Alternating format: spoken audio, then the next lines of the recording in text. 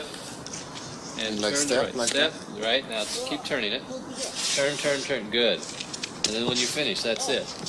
That's the little circle part. Here. Concept is big circle, little circle. The right foot turning in the center Yeah. is the little circle part. How do you keep the right foot turning in the center? That's a good question. You make it happen. How? Step by pushing with the left leg. Yeah. That keeps the right foot turning. Oh, good. You see? But the problem with for many discus throwers is they step too far and they can't push, Exactly. They get stuck. so their upper body must come around. Okay. So if you make a short step, that's another concept. Short, long.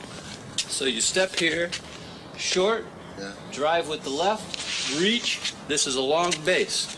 Yeah. Now you throw from here. This right foot continues to turn, Yeah. and then the right foot goes where the left foot was. 嗯